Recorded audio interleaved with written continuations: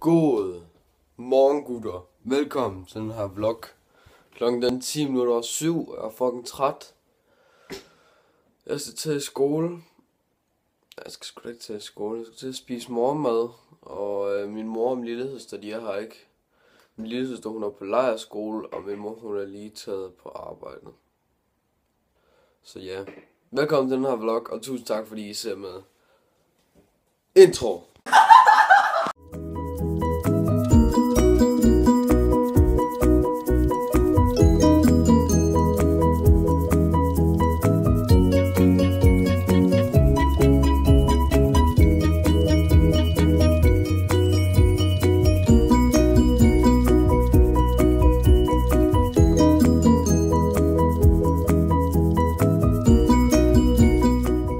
Gutter, det er øhm, onsdag i dag.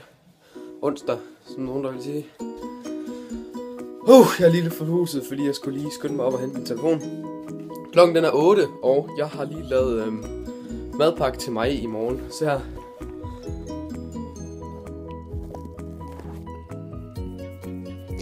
Det er stegt øh, bacon og øhm, stegt... Hvad fuck er det, det hedder? Mor! Mor! Var det ikke stegt, pe- stegt pepperoni? Stegt pepperoni også. Øhm, og det skal jeg simpelthen bare have med. Sammen med sådan noget øh, pasta ting, noget her, som vi fik til aftensmad. Øhm, så ja. Jeg har lavet stil det meste af dagen. Stil, stil, stil, stil. Jeg har bare skrevet engelsk stil. Resume faktisk, for at være mere specifik. Så ja, jeg ved, jeg går op og lave en tysk opgave. Bagefter en tysk stil også. Øhm, ja. Det her, det bliver nok rekorden for den korteste vlog ever. Øhm, klokken den er 10, og jeg skal til at slukke nu. Så jeg vil, lukke den, rundt den her vlog af nu. Tusind tak, fordi I har set med. Husk at gå ind og like min Facebook-side. Og husk at subscribe.